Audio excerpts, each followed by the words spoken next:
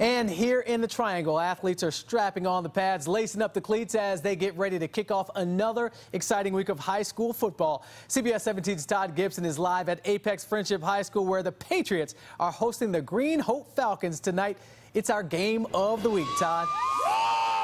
That's right, guys. The pit will be rocking tonight. We got Mr. Patriot here. The pit will be rocking tonight. Let's bring in Cole and Mary. They're going to talk with us a little bit here. Everybody is dressed alike tonight. Mary, what's going on here?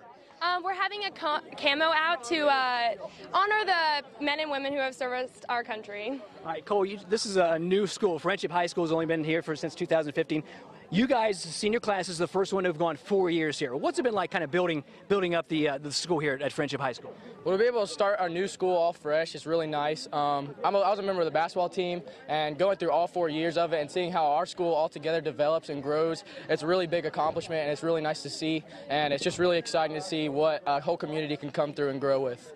Now, one thing I, I, found very amazing is you guys have never had a homecoming game. Is that correct? That's that's crazy. Even though you know you, have only been here for four years, why have you not had a homecoming game? And what do you guys got coming up?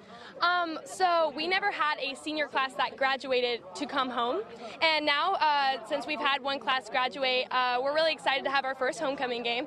And to start a new tradition, as what mo most of our goals are, as like being a part of the student council and being part of like a student section leader, we're starting a new parade um, that is before the homecoming game, like a parade that's going to involve the whole community, and each club is going to have a uh, like float, and it's going to be awesome, and it's going to be October 19th. I bet you guys are looking forward to that. All right, it's Friendship versus Green Hope tonight.